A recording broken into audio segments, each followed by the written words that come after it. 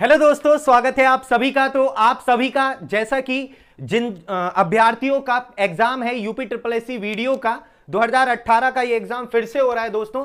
तो उसके लिए कुछ दिशा निर्देश मैं लेकर आया हूँ आप सभी के लिए एग्ज़ाम के पहले।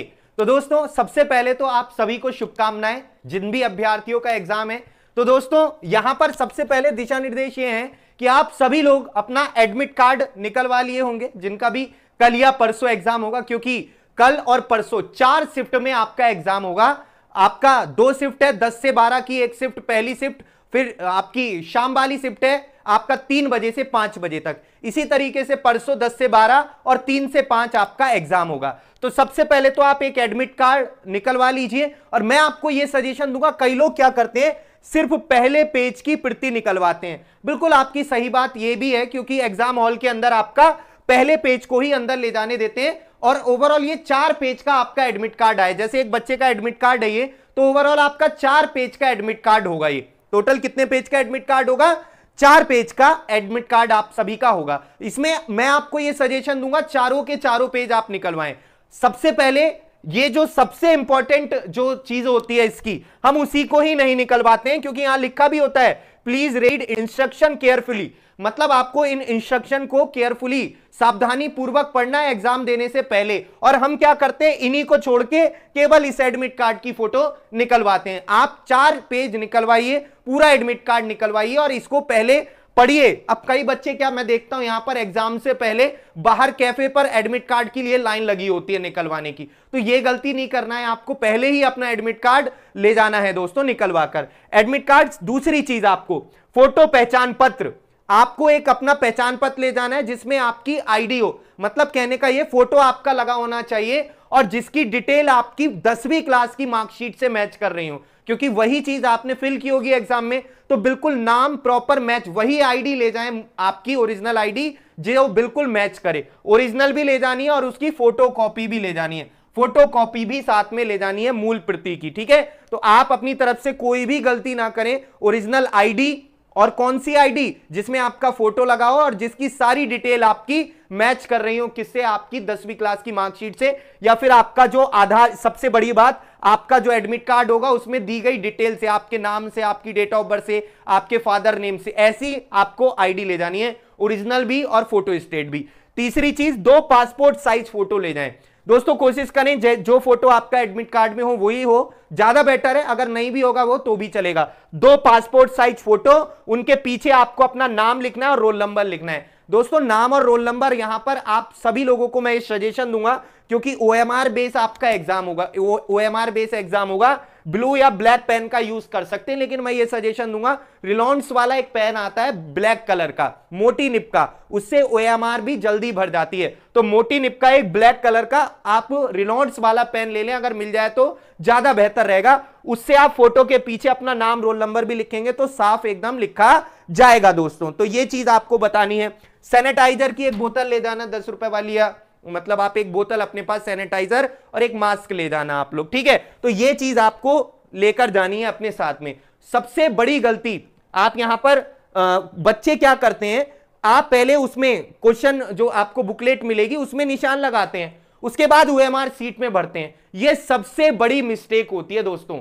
आपको अगर जैसे जैसे आप क्वेश्चन पढ़ रहे हो वैसे वैसे ही आपको ओएमआर फिल करनी है। क्योंकि कई सारे अभ्यर्थियों की यह दिक्कत होती है कि सर हमें हमने पूरा आंसर लगा दिए थे अपनी क्वेश्चन बुकलेट पे बट ओएमआर शीट पे हम लगाना भूल गए टाइम ओवर हो गया। दो घंटे का आपको पेपर मिलेगा। आ, दोस्तों मैं आपको यह बता देता हूँ साथ साथ इतना ज़्यादा टाइम वेस्ट नहीं होता है आपका कि आप पहले क्वेश्चन बुकलेट पे लगाइए फिर ओएमआर पर लगाइए। बिल्कुल साथ साथ पैरेलल आपको करना है। क्योंकि बाद में क्या होता है, जो बच्चे ऐसा सोचते हैं कि पहले क्वेश्चन बुकलेट पे लगा लेंगे, बाद में ओएमआर फिल कर लेंगे।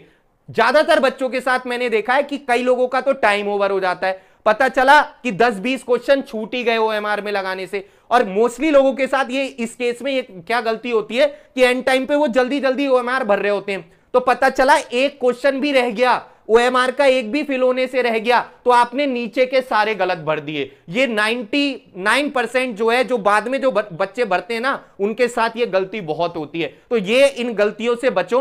साथ साथ आप जो क्वेश्चन नंबर आप देख के वहाँ पर आपको टिक, वहाँ पर टिक लगाने से अच्छा है ओएमआर में डायरेक्ट भरते चलो साथ साथ दूसरी चीज़ ओ को आपको जो सबसे पहले, आपको मैं ये बात बता देता हूँ कि आप इसमें 30 मिनट पहले तक, जैसे यहाँ पर आपको पता है कि 10 बजे से एग्ज़ाम है, साढ़े नौ बजे गेट बंद हो जाएगा। लेकिन दो घंटे पहले ही जाकर आपको वहाँ पर एंट्री लेनी है, आठ बजे आपको वहाँ पर पहुँच जाना है। कई लोग सोचते हैं कि क्या नाम है, साढ़े नौ बजे गेट बंद होगा, हम तो सवा नौ बजे पहुँचेंगे। ये गलती आपको नहीं करनी है। आराम से जाइए, रिलैक्स कीजिए, अभी पूरी रात है आपके पास। अब आपको बिल्कुल भी पढ़ना नहीं है, लास्ट टाइम पे जितना पढ़ना था आपने पढ़ लिया। अब थोड़ा सा रिलैक्स फील करो। टेंशन कम लो। मैं देखता हूँ एग्ज़ाम हॉल से पहले भी बच्चे पढ़ रहे होते हैं। तो थोड़ा सा टेंशन कम लो अब, और बढ़िया तरीके से जिनका खासकर कल एग्ज़ाम है, सुबह वाली शिफ्ट में, फ्री माइंड होकर आप लोग जाइए। रेस्ट कीजिए अभी रात में, सारे अपने आप डॉक्यूमेंट्स, जो भी आपके पासपोर्ट साइज़ फ़ोटो पहचान पत्र, उसकी फ़ोटो स्टेट और एडमिट कार्ड, इन चीज़ों को आप निकलवा के अभी रख ही लिए होंगे। और काफ़ी लोग तो पहुँच भी गए होंगे एग्ज़ाम सेंटर के पास जिनका एग्ज़ाम होगा। तो मैं यही कहूँगा, बिल्कुल फ्री माइंड होइए, क्योंकि आपको बढ़िया तरीके से एग्ज़ाम देना है और बहुत अच्छी अपॉर्चुनिटी है। पचास हज़ार लोग लगभग एग्ज़ाम दे रहे हैं। अप्रोक्सीमेट इसमें टोटल दो हज़ार वैकेंसी है। तो पचास हज़ार लोग एग्ज़ाम दे रहे हैं, बहुत ही अच्छा मौका है आपके पास।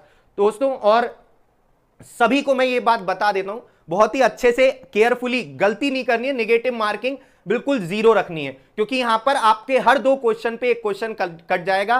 वन बाई टू की इसमें निगेटिव मार्किंग है, ये ध्यान रखिएगा। बहुत कम एग्ज़ाम होते हैं जिसमें वन बाई टू की निगेटिव मार्किंग होती है। वन फोर्थ की मैक्सिमम होती है, काफ़ी सारे एग्ज़ाम बट इसमें वन बाई टू की निगेटिव मार्किंग है तो कोशिश कीजिएगा गलती आपकी कम से कम हो। कुछ और बातें मैं आपको बता देता हूँ।